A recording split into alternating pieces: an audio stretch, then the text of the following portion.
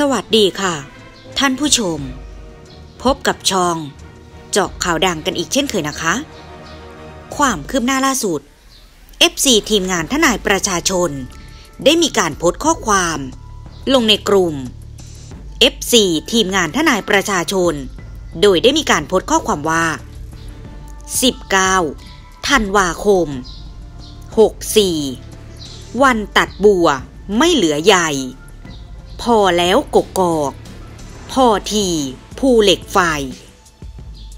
หลังจากที่โพสต์นี้ได้มีการโพสต์ออกไป FC ฝั่งทีมงานทนายประชาชนก็ได้เข้ามาแสดงความคิดเห็น โดยบอกว่า ใจร้าย ถอนประกันด้วยสิ ป้ายานจ๋าหนูกลับถึงบ้านแล้วค่ะ ไม่ไปแล้วกกอก ฮ่าฮ่าฮ่าถูกต้องที่สุดแล้วค่ะ ที่ให้ทนายรัชพล เป็นผู้ดำเนินการ และนำสารการถอน ทนาย เพราะทนายรัชพล ท่านมีนิสัยอ่อนโยน ท่านคงทำงานสำเร็จได้ด้วยดีค่ะ เห็นด้วยกับป้ายานค่ะ หยาบตาย เปลืองตัว ไปโต กับคนพวกนั้น เหมือนเรา ลดค่า ลดตัว เราไปเล่นขี้ลาแล้วกกอกแค่อยากรู้ผล แค่นั้น ค่ะ และอยากรู้แค่ใคร จะมาเป็นทนายที่หนักแน่นฮ่าฮ่าฮ่าปากบอกไม่อยากยุ่ง แต่กล่าวถึงตลอด เพื่ออะไร น่าเบื่อ ป้ายานก็ได้ตอบกลับความคิดเห็นนี้ว่า เบื่อก็ใส่หัว ไปดูแลลูกสาวตัวเองบ้าง ก็ได้นะคะ ไม่ต้องมาเสือก เรื่องหน่าเบื่อของไอ้พล สมุนไอ้พล กลัวละสิ ที่จะโดนเท บอกมันด้วยนะ คุกแน่ๆ ถ้ายังมีสมุนแบบคุณคอยเสือกฮ่าฮ่าฮ่า F4 ทีมทนาย ก็ได้มีการโพสต์ข้อความต่ออีกว่า ก่อนจะถึง 19 ต้องจัดหนัก ทิ้งทวน 5. ถ้าอยังจำกันได้ว่า สมมุติฐานของทางพนักงานสอบสวน เคยตั้งไว้ว่าจำเลย พร่างมือทำร้าย เพราะเป็นคนขี้โมโห คุมอารมณ์ไม่ได้ เหยื่ออาจจะร้องไห้ กลัวที่ถูกพาเข้าป่าจำเลย จึง ลุ แก่ โทสะทำร้ายจนสลบแล้วนำไปซ่อน รอการกลับมา ไปทิ้งบนเขา มาถึงตรงนี้ ทางฝ่ายโจทย์ต้องยกตัวอย่าง การขาดสติ คุมอารมณ์ไม่ได้ และพฤติกรรมก้าวร้าว ใช้กำลัง และแน่นอนที่สุด กรณีทุบหลัง นักข่าว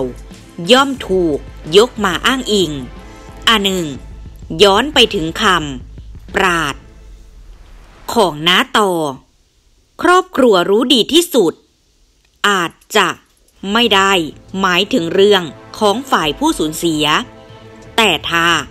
มันหมายถึงเรื่องของจำเลยสองผัวเมีย เรื่องพฤติกรรมในอดีต ความก้าวร้าวเหล่านี้ มันอาจจะติดอยู่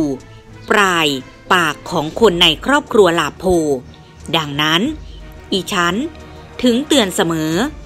การถีบลาบโพกระเด็น ไปทีละคนสองคน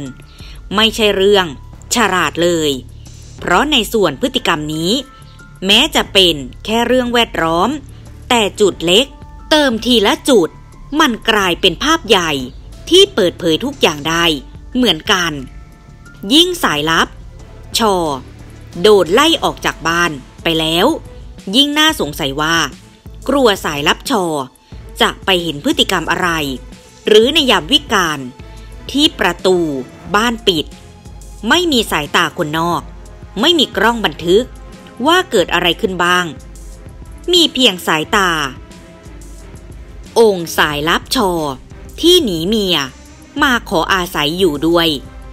ฝากประเด็นนี้ไว้ ให้ทนายคนใหม่ ไปทำการบ้านว่า จะแก้เกมยังไงนะคะ จุดเล็ก แต่ประกอบภาพรวม ต้องตีให้แตก แล้วยิ่ง FC จำเลย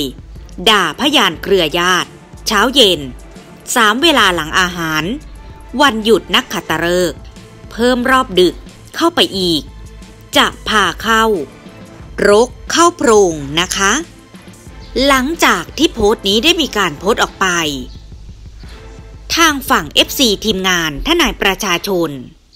ก็ได้มีการเข้ามาแสดงความคิดเห็นโดยบอกว่า สิ่งที่เห็นชัดเจน นอกจากควบคุมอารมณ์ไม่ได้แล้ว ก็เรื่องความเชื่อ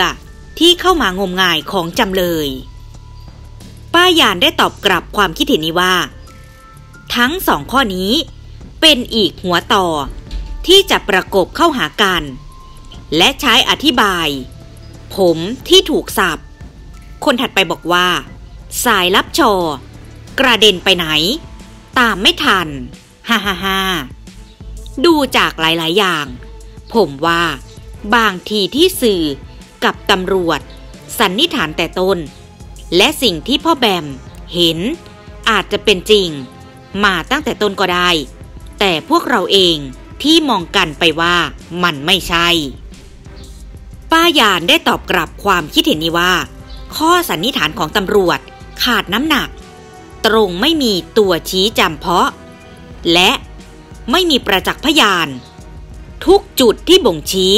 ถูกตีได้หมด ไม่ว่าจะเป็นพระบุญมา พ่อแบม เวลาเกิดเหตุ ทุกจุดขัดแย้งได้หมด กระทั่งหลักฐาน ที่ว่า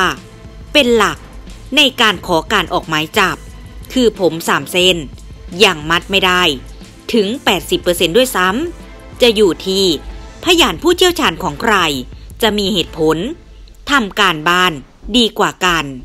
ของอายการยังไม่ทราบ แต่เดาว่า ต้องมีพออศูนย์สินโคตอนหมอสุรนารี แต่ของโจทย์ร่วมนี้ เห็นชื่อ เห็นสรรพคุณแล้ว ร้องยี่ยี่ ดูส่งแล้วพยานที่โจทย์ร่วมแต่งเข้า ไป น่าจะเป็นจุดอ่อน เป็นตัวถ่วงของคดี ให้ฝ่ายจำเลยทาลุง ได้สนุกมือ หวด ขวับ ด้วยการมายม ถ้าได้ทนายใหม่ที่ฝีมือจัดจ้าน พอกับชุดที่ถอนไป คนถัดไปบอกว่า เสียดายทนายตั้มพยานเท็จ เสร็จทนายตั้มแน่นอนทาลุงไส้แตกแน่ หนูอดได้ ดูทนายตั้ม ขยี้พยานเลยค่ะป้า เสียดายมากๆ โถโถ ตัดยังไงสายใหญ่ ก็ยังเห็นอยู่รางๆ รับรู้ถึงหัวใจที่งดงาม ของคนยันยานคนนี้ อย่างที่สุดค่ะน่าเป็นห่วงนะคะ FC คนสนิทที่บอกว่า รักลุงมากๆ แต่ด่าพี่น้องเขาทำให้เขาเกลียดกัน ต่อไปก็ไม่เหลือใครแล้วแบบนี้ แบบนี้เหรอที่บอกว่า รักแทนที่ จะให้เขาสามัคคีกันก่อน เขาจะได้ ช่วยกัน แต่กลับสร้างศัตรูให้ฝ่ายจำเลยไปอีก ฮ่าฮ่าฮ่า